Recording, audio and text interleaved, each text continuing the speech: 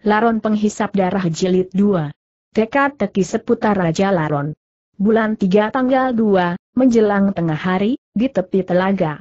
Air kelihatan jernih berwarna hijau dengan latar belakang bukit nan biru, pepohonan liu tumbuh rimbun di sepanjang tepi telaga. Musim semi memang musim yang mudah membuat orang mabuk, membuat orang terpesona. Perasaan Jui Pahai sangat murung, kesal dan masgul, jauh lebih murung ketimbang mabuk oleh air kata-kata, kemurungan yang susah terurai, bahkan semakin berusaha dihilangkan, perasaan itu semakin mencekam. Kejadian semalam masih jelas terbayang di depan matanya, meski kini dia sedang berjalan menelusuri pepohonan liu yang rindang, namun langkah kakinya terasa berat. Pemandangan alam nan indah yang terbentang di hadapannya tidak membuat perasaannya tenang, dia bahkan seakan tidak melihatnya, seakan tidak merasakannya. Dalam keadaan seperti ini, dia memang tidak punya nafsu untuk menikmati kesemuanya itu. Hari ini dia memang sengaja datang ke sana, karena di tempat inilah ia akan menemukan Tu Xiao Tian. Tu Xiao Tian adalah sahabat karibnya, dia pun seorang wakil lopas di wilayah itu, Seorang jago golok yang handal, selain pintar, kungfunya juga hebat. Hingga sampai hari ini sudah begitu banyak kasus besar yang berhasil dibongkar olehnya. Ada orang bilang, bila latar belakang Tu Xiao Tian setengah saja melebihi Nyo Sin, maka yang jadi komandan opas di kota ini bukan Nyo Sin melainkan Tu Xiao Tian. Menanggapi gurauan semacam ini, Tu Xiao Tian tidak pernah memberikan pandangan maupun pendapat pribadinya. Dia seperti sudah amat puas dengan posisinya sekarang, wakil komandan Opas.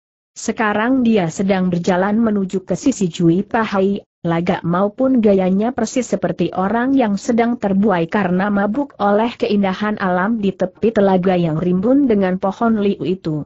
Berbicara sejujurnya, kedatangannya ke tempat itu memang khusus untuk menikmati pemandangan alam di sana. Karena belum lama ini dia berhasil membongkar sebuah kasus kriminal yang sangat berat, dalam kondisi demikian, dia butuh tempat rileks untuk mengendorkan semua otot dan uratnya yang telah cukup lama kencang dan tegang. Dia baru terperanjat setelah Jui Pahai berada di sisinya, dengan pandangan terkejut bercampur keheranan ditatapnya wajah sahabatnya lekat-lekat. Dia seperti tertegun, keheranan dan tidak percaya kalau bakal berjumpa dengan Jui Pahai di tempat seperti ini, dia sangat mengenal siapa Jui Pahai itu dan tahu pasti apa kegemerannya. Tempat semacam ini jelas bukan tempat yang cocok bagi Jui Pahai, dia bukan termasuk type manusia yang bisa menikmati keindahan alam, terlebih kedatangan Jui Pahai kali ini hanya seorang diri. Jui Pahai sedang mengawasi dirinya pula, dia menatap wajah rekannya dengan mimik muka yang sangat aneh, mimik muka istimewa. Tu Xiao Tian semakin keheranan, setelah menyapanya sambil tertawa, dia menegur, jadi kau pun menyukai tempat ini tidak terlalu suka jawab Jui Pahai dengan sorot mata, tidak tenang. Sungguh aneh, Aku tidak menyangka bakal berjumpa dengan kau di tempat semacam ini kembali Tu Xiao Tian berseru sambil tertawa. Tapi aku dapat menduganya Oye Atu Xiao Tian tertegun. Aku telah berkunjung ke rumahmu, orang rumah yang mengatakan kalau kau berada di sini oh oha, jadi kau sengaja datang kemari karena ada keperluan denganku seru Tu Xiao Tian seperti baru mengerti. Jui Pahai manggut-manggut pelan. Persoalan apa yang kau hadapi? Kenapa terburu-buru mencari aku kembali Tu Xiao Tian bertanya keheranan. Aku khusus kemari karena butuh petunjukmu tentang satu hal bicara sampai di situ, dia berbalik badan dan kembali berjalan menelusuri jalanan yang baru saja dilaluinya. Dalam keadaan begini terpaksa Tu Xiao Tian mengikuti dari belakang. Sambil berjalan kembali Jui Pahai berkata lagi, aku tahu kau sudah banyak mengembara di seantero jagat, pengetahuan dan pengalamanmu sangat luas, banyak kejadian, banyak wilayah yang mungkin tidak pernah diketahui orang, bagaimu bukan satu kejadian yang aneh atau paling tidak sama sekali tidak ada bayangan sebenarnya apa masalahmu tidak tahan. Tu Xiao Tian menegur. Pernah tahu makhluk yang bernama Laron penghisap darah tanya Jui Pahai sambil bersin beberapa kali. Laron penghisap darah Tu Xiao Tian agak tertegun, maksudmu laron penghisap darah yang banyak hidup di dalam belantara hutan di wilayah Xiao Xiang ah, ah. Rupanya kau tahu juga tentang hal ini seru Jui Pahai kegirangan. Aku memang berasal dari wilayah Xiao Xiang bagus sekali, kenapa secara tiba-tiba kau menanyakan soal makhluk itu Tu Xiao Tian bertanya lebih jauh. Jui Pahai tidak langsung menjawab, Kembali dia bertanya, sebenarnya makhluk apakah itu salah satu jenis laron sahut Tu Xiao Tian sambil berusaha menekan perasaan heran dan tercengangnya.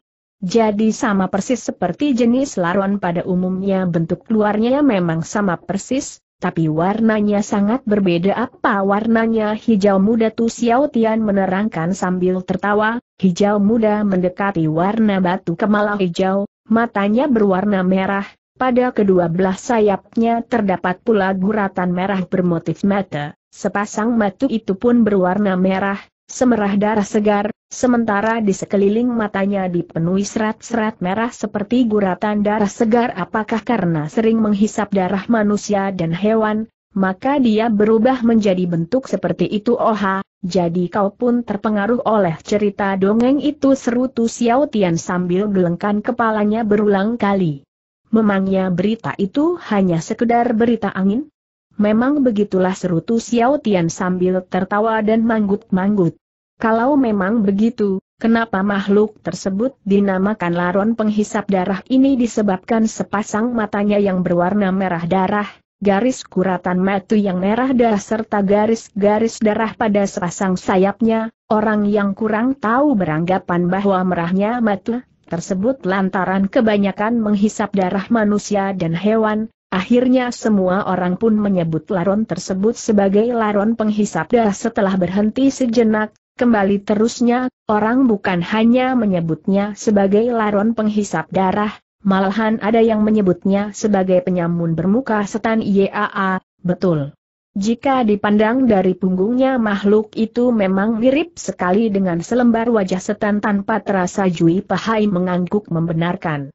Tiba-tiba Tu Xiao Tian tertawa tergelak, selanya, kapan sih kau pernah bertemu setan Jui Pahai melengak, sesaat kemudian dia menggeleng, belum pernah aku melihat setan lantas dari mana kau bisa membayangkan tampang setan itu seperti apa? Aku sendiri pun kurang tahu. Aku hanya berpendapat tampang manusia tidak mungkin sejelek dan seseram itu. Tu Xiao Tian kembali tertawa tergelak, terusnya, ada sementara orang menyebut makhluk itu sebagai laron bermata burung gereja, laron bermata iblis, hal ini disebabkan pada sepasang sayapnya terdapat guratan merah bermotif matu darah. Apakah laron semacam ini dapat menghisap darah? Tentu saja tidak dapat, sebab guratan merah darah bermotif matu yang tumbuh di sayap makhluk itu sudah ada semenjak lahir. Kau yakin? Tu Xiao Tian tidak menjawab, dia terbungkam.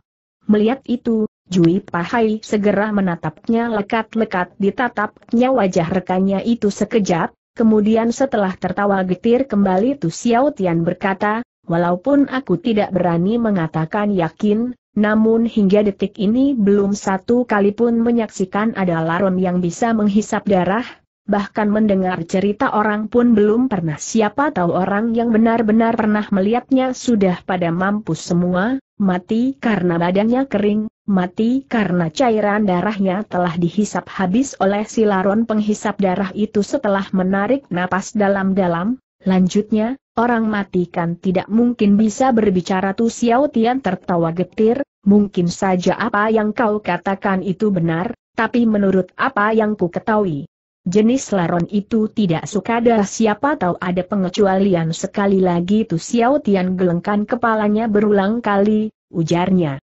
Hingga detik ini aku tetap berpendapat bahwa apa yang kau ucapkan itu hanya sekedar berita angin, isapan jempol, hanya sekedar dongeng aku pun berharap kesemuanya itu hanya sekedar berita isapan jempol belaka oya paling tidak, aku sudah tidak perlu menguatirkannya lagi lanjut Jui Pahai. Sebenarnya apa yang kau khawatirkan tanya Tu Xiao Tian agak melengak. Aku khawatir ada laron penghisap darah yang menghisap darah tubuhku hingga mengering Tu Xiao Tian semakin tercengang, dengan perasaan tidak habis mengerti kembali tanyanya, kapan kau telah bertemu dengan laron penghisap darah kemarin malam? Kemarin malam Tu Xiao Tian semakin tercengang. Walaupun aku pernah mendengar cerita dongeng mengenai laron penghisap darah, namun selama hidup belum pernah berkunjung ke wilayah Xiao Xiang, aku pun belum pernah melihat laron penghisap darah, tapi kemarin malam, atas dasar apa kau yakin kalau makhluk yang kau jumpai semalam adalah laron penghisap darah selatu Xiao Tian cepat. Jui Pahai menghela napas panjang, karena laron yang tiba-tiba muncul di dalam perpustakaanku semalam, persis sama seperti laron penghisap darah yang dilukiskan dalam cerita dongeng. Tapi wilayah Xiao Xiang selisih jauh sekali dari tempat ini, mana mungkin laron penghisap darah bisa terbang melewati wilayah yang begitu luas hingga tiba di sini? Belum pernah ku dengar ada kejadian seperti ini seru Tu Xiao Tian semakin keheranan. Benar, aku sendiri pun belum pernah dengar orang bercerita kalau di tempat ini bisa melihat kehadiran laron penghisap darah mungkin juga lantaran ketidaksesuaian suasana dan hawa di tempat ini dengan daerah asalnya, walau begitu bukan berarti suasana dan hawa di sini tidak mungkin bisa terjadi perubahan, juga tidak menutup kemungkinan ada laron penghisap darah yang mampu terbang melintasi wilayah yang luas untuk tiba di sini setelah tertawa dan berganti napas, kembali terusnya, padahal meskipun kau telah melihat munculnya seekor laron penghisap darah di sini, bukan berarti kau mesti khawatir setengah mati. Ketika masih berdiam di daerah Xiao Xiang dulu, aku pun sering bertemu dengan laron penghisap darah, tapi kenyataannya bukankah hingga detik ini aku masih bisa hidup segar bugar tatkala kau bertemu dengan makhluk-makhluk tersebut tempo hari, bisa jadi mereka sudah kekenyangan sehingga tidak berniat menghisap darahmu lagi ujar Jui Pahai. Hahaha, mungkin saja perkataanmu itu benar Jui Pahai tidak ikut tertawa, wajahnya semakin murung, keningnya makin berkerut. Tu Xiao Tian merasa kurang leluasa untuk tertawa sendirian, maka sambil berhenti tertawa katanya lagi, aku lihat kau sudah dibikin ketakutan lantaran bertemu dengan laron penghisap darah semalam.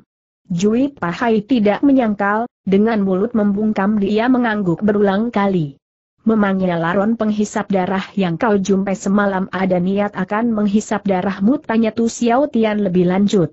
Paras muka Jui Pahai berubah hebat, sahutnya tegas, Yaa, aku memang melihat kalau dia bermaksud demikian kemudian, apakah dia sudah menghisap darahmu ejek Tu Xiao Tian lagi sambil tertawa.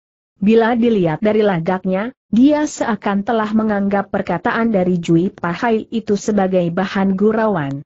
Jui Pahai masih tetap membungkam, tidak tertawa, pun tidak peduli dengan ejekan dari Tu Xiao Tian, ujarnya bersungguh-sungguh, tidak baru saja dia akan menerkam tubuhku, pedangku sudah melancarkan serangan maut ke tubuhnya kali ini Tu Xiao Tian nampak terperanjat, serunya tertahan, untuk menghadapi seekor laron pun kau telah menggunakan senjata andalanmu jika ditinjau dari lagak serta logat bicaranya, dia seolah sedang menyindir Jui Pahai karena membesar-besarkan sebuah masalah yang sesungguhnya kecil. Jui Pahai sama sekali tak menggubris, bahkan tambahnya, bukan hanya menggunakan senjata andalanku, bahkan senjata rahasia telah kugunakan juga Hit Kiam Jitseng, satu pedang tujuh bintang? Benar, hampir semuanya telah aku gunakan jawab Jui Pahai serius.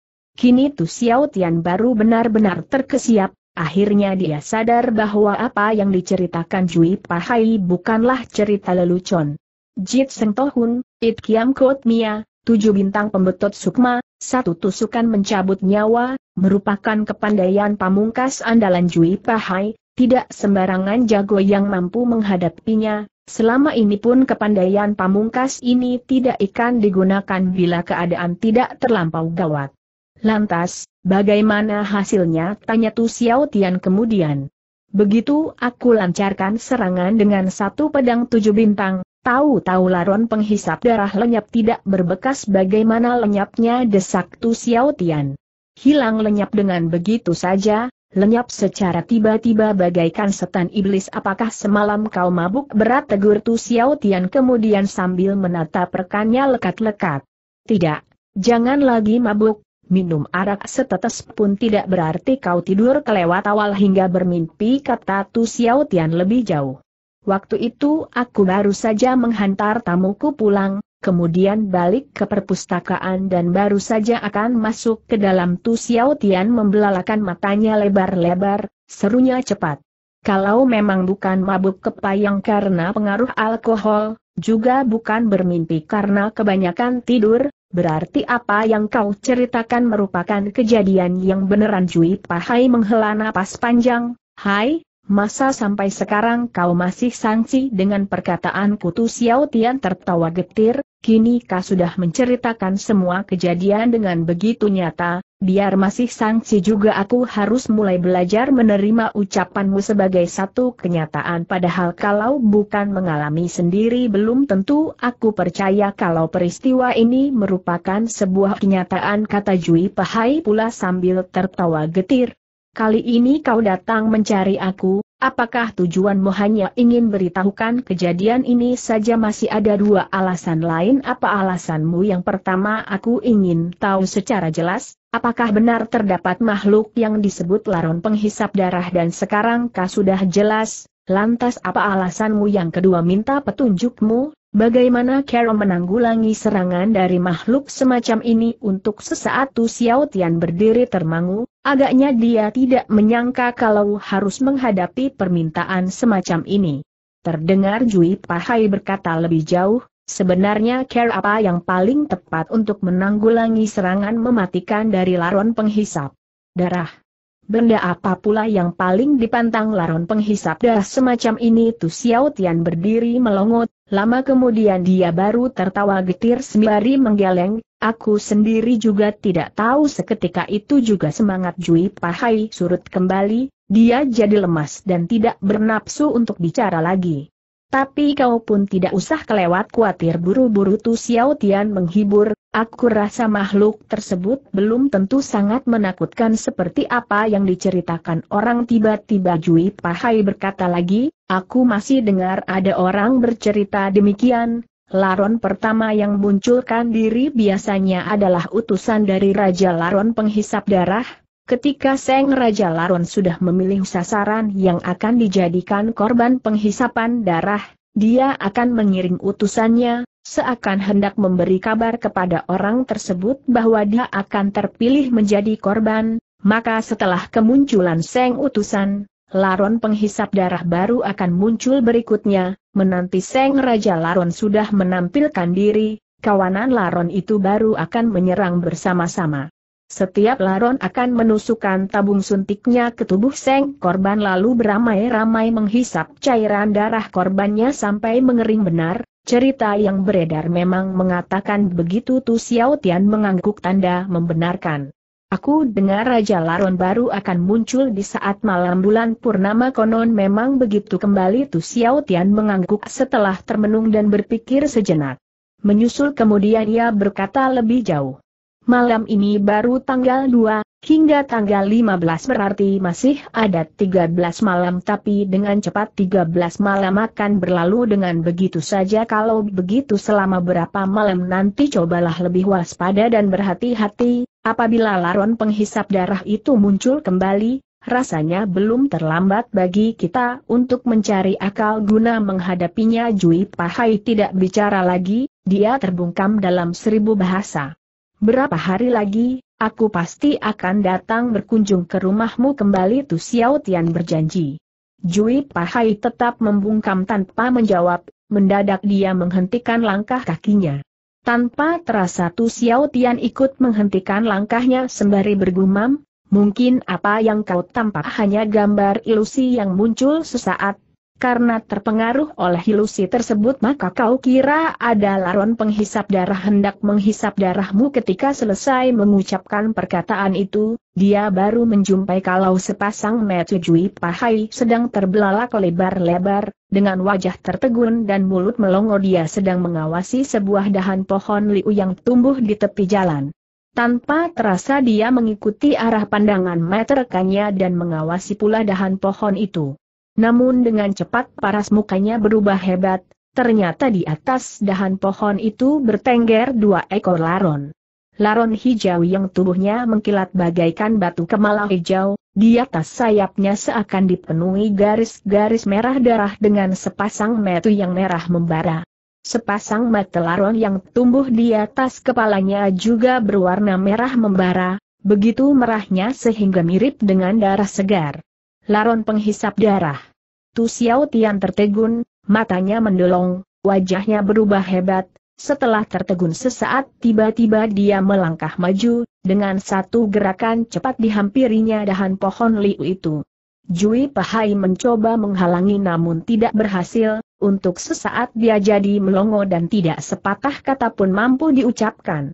Ketika tiba di dekat pohon liu itu, Tu Xiao Tian memperlambat langkah kakinya, begitu dia berhenti melangkah, tangan kanannya secepat kilat menyambar ke depan, mencengkeram seekor laron penghisap darah yang berada di situ. Biarpun gerakan serangannya amat cepat, ternyata gerakan laron penghisap darah itu jauh lebih cepat, belum sempat menyentuh makhluk tersebut, tahu-tahu kedua ekor laron penghisap darah itu sudah terbang ke angkasa. Reaksi maupun kesensitifan laron penghisap darah itu ternyata sama sekali tidak berada di bawah kecepatan reaksi kupu-kupu. Gerakan tubuh Tu Xiao Tian semakin cekatan, mendadak dia melambung ke tengah udara sambil melancarkan tiga kali sambaran, akhirnya dengan satu gerakan cepat dia berhasil menangkap laron penghisap darah itu. Jangan dilihat gerakan tubuhnya sangat cekat dan kasar, Ternyata kekuatan yang digunakan telah diperhitungkan dengan matang, hal ini menyebabkan laron penghisap darah. Itu sama sekali tidak sampai tergencet mati walau telah berhasil dicengkeram olehnya, sepasang sayapnya masih bergetar tiada hentinya. Bubuk laron berwarna hijau kepucat-pucatan telah memenuhi telapak tangan Tu Xiao Tian, melihat itu dia tertawa terbahak-bahak. Tampaknya laron penghisap darah itu seakan sudah ketakutan setengah mati hingga mendekati gila, sepasang matanya yang merah kini bertambah merah tajam, bahkan seolah sudah mulai melelehkan darah segar. Sambil tertawa Tu Xiao Tian segera berpaling ke arah Jui Pahai, kemudian ujarnya, bila laron semacam ini benar-benar pandai menghisap darah, sekarang sudah seharusnya menghisapkan darahku, belum habis perkataan itu diucapkan, tiba-tiba paras mukanya berubah hebat. Satu tusukan keras yang menimbulkan perasaan sakit yang luar biasa muncul dari ibu jarinya, dengan perasaan terperanjat dia berpaling tampak olehnya sebuah tabung hisap berwarna merah darah dengan ujung jarumnya yang tajam telah menancap di ibu jari tangannya dan saat itu darah segar miliknya mulai dihisap oleh laron penghisap darah itu. Tidak terlukiskan rasa kaget bercampur ngeri yang dialami Tu Xiao Tian waktu itu, paras mukanya sampai berubah menjadi hijau membesi. Ketika dia mulai merasa bahwa darah segar telah dihisap keluar melalui jari tangannya, saat itu pula dia berdiri termangu, benarkah apa yang sedang dialaminya saat ini merupakan sebuah kejadian nyata? Apakah bukan hanya sebuah ilusi? Untuk berapa saat dia jadi kebingungan dan tidak bisa membedakan secara jelas. Laron penghisap darah dengan perasaan takut bercampur ngeri yang luar biasa dia menjerit. Karena teriakan yang keras disertai perasaan kaget yang luar biasa ini, tanpa sadar genggamannya pada laron penghisap darah itu pun jadi mengendor. Seret diiringi desingan angin tajam, laron penghisap darah itu meloloskan diri dari genggamannya dan terbang ke udara, langsung menyusup ke balik pepohonan liu yang rindang. Dalam pada itu, laron penghisap darah yang kedua pun sudah terbang lenyap entah ke mana. Sorot mata, Tu Xiao Tian tidak pernah terlepas dari tubuh laron yang sedang terbang ke balik rimbunnya pepohonan.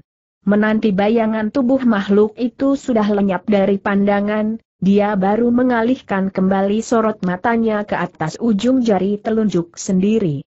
Tidak ada darah yang meleleh keluar, di ujung jari tangannya hanya tersisa setitik darah segar, namun hal itu sudah cukup membuat pandangan matanya terbelalak lebar.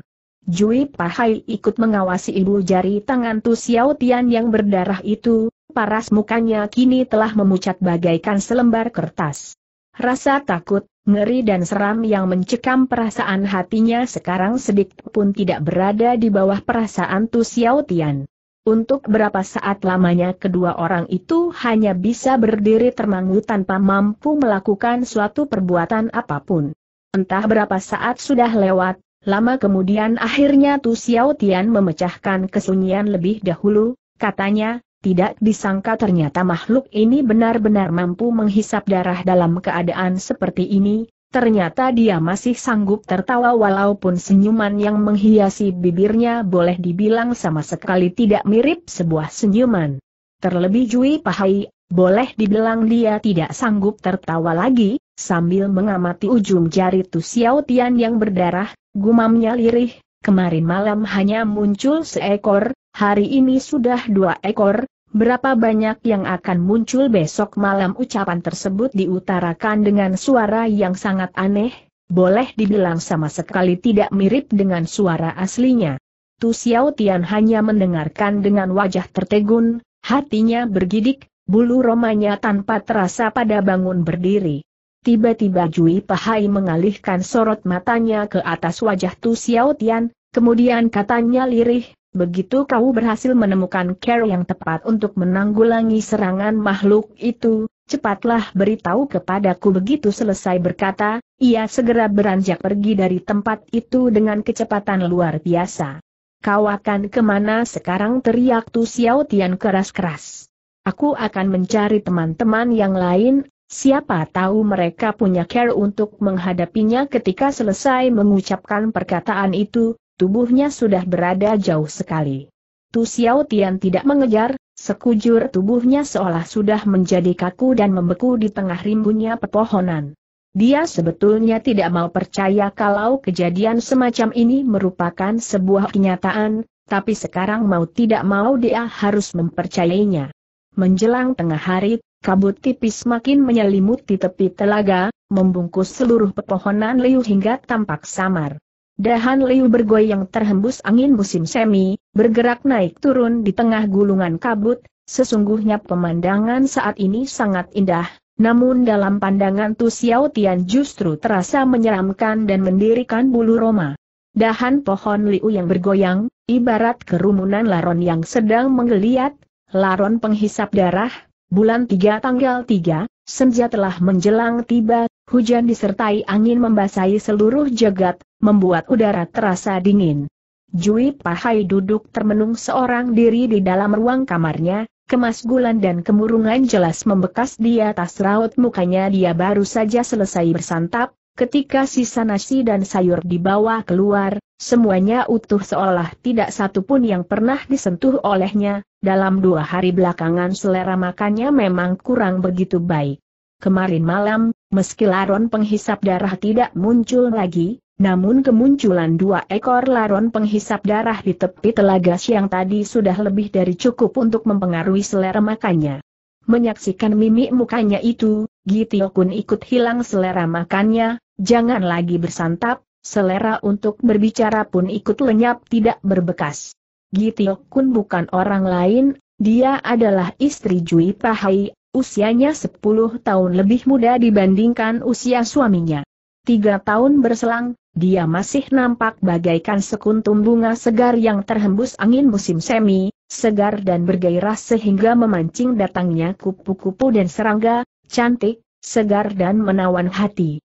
Tapi tiga tahun kemudian, dia nampak jauh lebih tua ketimbang Jui Pahai.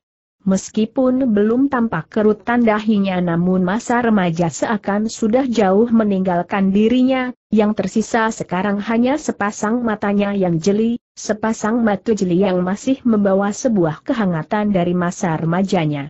Biji matanya yang berkilat ibarat dua gulungan bara api berwarna hitam, masih tetap berkialauan, masih tetap membara. Siapa pun yang pernah bersua dengannya, pasti dapat menduga kalau penghidupannya selama tiga tahun terakhir pasti kurang nyaman, pasti kurang bahagia. Kehidupan yang serba kecukupan bukan jaminan dapat menghilangkan semua kemurungan, kemasgulan dan kesengsaraan perasaan hatinya. Karena orang yang dinikahi sekarang bukanlah orang yang dia ingin nikahi. Semenjak menikah dengan Jui Pahai, kehidupannya seolah sudah mati separuh. Walaupun sampai kini dia belum sampai mati, namun wajahnya, perasaan hatinya tidak berbeda dengan sekuntum. Bunga yang mulai layu karena tidak pernah mendapat siraman air segar. Jui Pahai sama sekali tidak bisa menyelami perasaan hati istrinya, berbeda dengan Gito Ama, ibu angkatnya, orang tua ini sangat memahami perasaan hati anak asuhnya, hanya sayang Gito Ama tidak pernah memikirkan persoalan itu ke dalam hatinya. Apa yang dipikirkan Gito Ama tidak lebih hanya semacam benda, semacam benda yang bisa digunakan untuk membeli apa-apa, duit.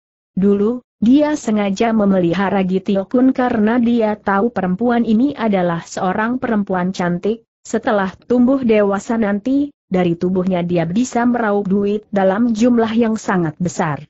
Itulah sebabnya dia selalu memberikan hidangan dan pakaian terbaik untuk Gitio Kun, melatihnya menyanyi, menari dan memainkan alat musik. Dia paksa gadis itu menjual nyanyi tanpa menjual badan, menemani orang minum arak tapi tidak menemani tidur. Hal ini bukan dikarenakan dia sayang dengan perempuan ini, tapi ingin menunggu hingga munculnya seng pembeli yang ideal dan sesuai dengan kehendak hatinya. Ketika tawar-menawar mencapai satu angka kesepakatan, maka dia pun serahkan Gitio Kun kepada Jui Pahai bagaikan menyerahkan sebuah barang pesanan saja. Saat itulah Gitio Kun baru tahu manusia macam apakah Gito Ama dan apa maksud tujuannya, namun dia tidak bisa berbuat lain kecuali pasrah. Gito Ama punya banyak anak buah dan begundal, terlebih Jui Pahai, dia adalah seorang jagoan yang luar biasa, bila dirinya menolak perkawinan tersebut, bisa dipastikan hanya jalan kematian yang terbentang di depan matanya. Tentu saja dia tidak ingin memilih jalan kematian, sebab usianya masih sangat muda, sewaktu dikawinkan dengan Jui Pahai, usianya baru mencapai 19 tahun. Orang muda mana yang tidak menyayangi nyawanya sendiri? Apalagi seorang gadis yang baru berusia 19 tahun, Selama ini dia selalu beranggapan bisa menahan semua siksaan batin itu namun kenyataan membuktikan dia harus menerima kesemuanya itu dengan susah payah.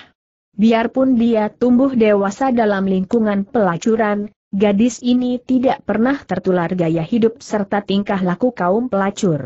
Tapi kesemuanya itu bukan merupakan alasannya yang paling utama, Alasannya yang terutama adalah karena hatinya sudah dimiliki orang lain. Pada malam pertama dia menikah dengan Jui Pahai, malam pengantin harus dialalui bagaikan dalam malam siksaan, malam perkosaan, dia merasa bagaikan sedang dinodai orang, diperkosa orang lain, siksaan batin tersebut selalu tersimpan dalam lubuk hatinya hingga detik ini. Dia tidak menjadi gila sudah merupakan satu mukjizat, bayangkan saja, perempuan mana yang bisa hidup tenteram dalam suasana seperti ini. Tidak heran kalau kini raut mukanya berubah menjadi cepat tua. Meski penampilan mukanya hanya lebih tua 10 tahun, namun perasaan hatinya sudah lama mati, mati ketuaan. Tidak seorang manusia pun yang memahami perasaan hatinya, bahkan Jui Pahai sendiri pun sama sekali tidak tahu. Selama ini dia selalu menunjukkan sikap seakan dia amat mencintai Gitio Kun, selalu berusaha dan berupaya untuk merebut hati perempuan itu, berusaha membuatnya senang, gembira. Sayang dua hari ini sikapnya agak berubah, selama dua hari ini dia sama sekali tidak berselera untuk melakukan kebiasaan itu, dia sama sekali tidak punya semangat untuk melakukannya. Kehadiran laron penghisap darah telah membuat pikirannya kalut, membuat perasaan hatinya kacau balau. Mengapa laron penghisap darah selalu menampakkan diri di hadapannya? Apakah Raja Laron telah jatuhkan pilihannya terhadapnya? Laron yang muncul pada malam tanggal 1 bulan 3, apakah dia adalah utusan dari Raja Laron? Apakah Laron penghisap darah itu adalah utusan khususnya? Mengapa si Raja Laron justru jatuhkan pilihannya terhadap dia?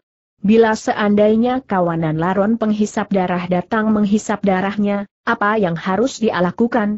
Tindakan apa yang harus dia ambil?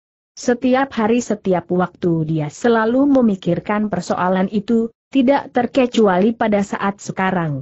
Butiran air hujan sudah lama berhenti menetes, namun air masih mengalir dari luar jendela, butir air berkilauan ketika tertimpa cahaya lentera, sekilas lewat kemudian lenyap dari pandangan mata. Dengan pikiran kusut Jui Pahai mengawasi butiran air di luar jendela, pikiran dan perasaan harinya kusut sekusut tumpukan jerami, tiba-tiba cahaya lentera meredup lalu mati, kegelapan segera mencekam seluruh ruangan. Bagaikan burung yang takut dengan anak panah, Jui Pahai segera melompat bangun sambil memutar badannya.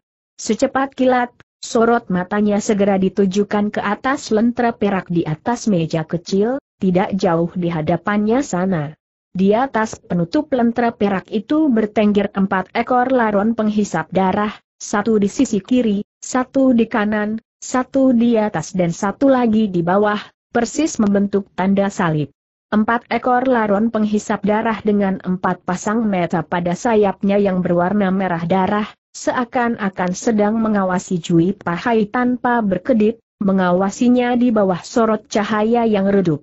Tidak diketahui mereka datang dari mana, juga tidak terdengar suara sayap mereka sewaktu terbang memasuki ruangan itu, cahaya lentera hanya terasa redup bagaikan padam secara tiba-tiba lalu mereka telah muncul di sana, muncul bagaikan kehadiran setan iblis. Sepasang mata Jui Pahai terbelalak semakin lebar, diawasinya keempat ekor laron penghisap darah itu tanpa berkedip, kulit, otot dan daging wajahnya mulai mengejang keras lalu berdenyut tiada hentinya. Tangan kanannya sudah menggenggam kencang pedang jit sengkut Mia Kiam, peluh dingin membasahi seluruh jidatnya. Biarpun senjatanya belum diloloskan, meskipun serangan belum dilancarkan, namun hawa pembunuhan telah menyelimuti seluruh udara. Keempat ekor laron penghisap darah itu seolah belum merasakan datangnya ancaman, mereka tidak bergerak, pun tidak menunjukkan reaksi apa pun. Justru yang dibuat terkejut oleh ulah dan tingkah laku Jui Pahai adalah Gitio Kun. Sebenarnya dia sedang duduk terpekur di sampingnya, duduk sambil menundukkan kepalanya, dia sama sekali tidak memperhatikan Jui Pahai, maka ketika suaminya melompat. Bangun secara tiba-tiba, bangku tempat duduk itu ikut dipukul balik oleh ulahnya. Blaam di tengah keheningan yang mencekam, suara itu kedengaran amat nyaring dan memekikan telinga. Dengan perasaan terkesiap dia mendongakkan kepalanya, dengan cepat perempuan itu telah menyaksikan raut muka Jui Pahai yang dicekam rasa takut, selembar wajah yang begitu ketakutan dan penuh diliputi rasa gelisah bercampur ngeri. Apa yang terjadi tanpa terasa dia menegur. Laron bisik Jui Pahai dengan suara gemetar. Apa, Laron apa Kun keheranan. Laron penghisap darah Laron penghisap darah Gitio Kun semakin keheranan. Dia belum pernah mendengar judulan itu, belum pernah tahu makhluk apakah itu. Yaa, empat ekor laron penghisap darah ulang Jui Pahai dengan nada parau. Di mana itu, di atas penutup lentera seru Jui Pahai sambil menuding ke depan. Gitio pun segera menoleh dan memandang ke arah mana yang ditunjuk. Tadi dia duduk persis di bawah lentera perak itu, sama sekali tidak merasa kalau di atas penutup lentera itu sudah bertengger empat ekor laron penghisap darah. Ketika cahaya lentera jadi redup tadi, dia pun seakan tidak merasakan kehadiran makhluk-makhluk itu. Kini, sorot matanya telah dialihkan ke atas penutup lentera itu, perasaan tercengang, keheranan dan tidak habis mengerti terlintas di wajahnya hanya perasaan keheranan, sama sekali tidak terbiasa rasa takut, atau ngeri atau seram. Dengan keheranan dia berpaling lagi memandang wajah Jui Pahai, kemudian serunya, empat ekor laron penghisap darah yang bertengger di penutup lentera. Mana? Kenapa aku tidak melihatnya Jui Pahai tertegun, dia tidak sanggup menjawab, sepasang matanya terbelalak semakin lebar. Dengan sangat jelas dan nyata dia saksikan ada empat ekor laron penghisap darah, bahkan sekarang pun masih bertengger di atas penutup lentera itu. Kenapa Gitio Kun tidak melihatnya? Jangan-jangan sewaktu dia berpaling tadi, keempat ekor laron penghisap darah itu sudah menyembunyikan diri. Dia membelalakan matanya semakin lebar, serunya gelisah, coba perhatikan lagi dengan seksama Gitio Kun mengiyakan seraya berpaling, Kali ini dia sama seperti Jui Pahai, membelalakan sepasang matanya lebar-lebar. Biarpun ukuran badan keempat ekor laron penghisap darah itu lebih kecil dari lalat pun, sekarang, seharusnya sudah tidak bisa lolos dari pengamatan matanya. Dia memeriksa dengan lebih seksama lagi, namun akhirnya tetap menggeleng, ternyata perempuan itu tetap tidak menyaksikan sesuatu apa pun. Sudah kau lihat tidak tahan Jui Pahai bertanya. Belum Gitio Kun menjeleng. Tapi, aku melihat dengan jelas, ada empat ekor laron penghisap darah. Hai, tapi aku tidak melihatnya, walau hanya seekor pun sahut Gitio Kun sambil menghela napas panjang. Dia tidak mirip lagi berbohong, atau jangan-jangan pandangan mata sendiri yang telah kabur. Sambil mengucap matanya berulang kali kembali Jui Pahai berpaling mengawasi penutup lentera itu.